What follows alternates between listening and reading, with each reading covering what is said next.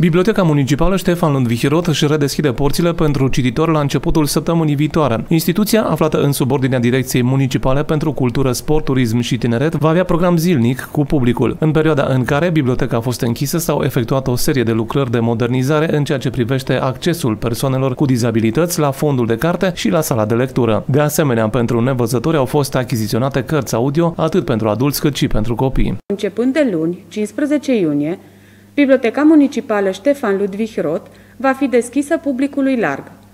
Sunt așteptați toți iubitorii de lectură de luni până joi între orele 7.30-16 și vinerea între orele 7.30-14. Fondul de carte a fost îmbogățit cu o serie de titluri noi.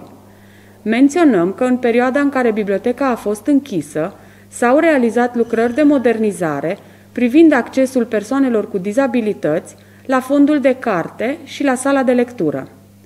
De asemenea, pentru nevăzători au fost achiziționate cărți audio, atât pentru adulți cât și pentru copii, cărți ce pot fi ascultate în sala de lectură a bibliotecii.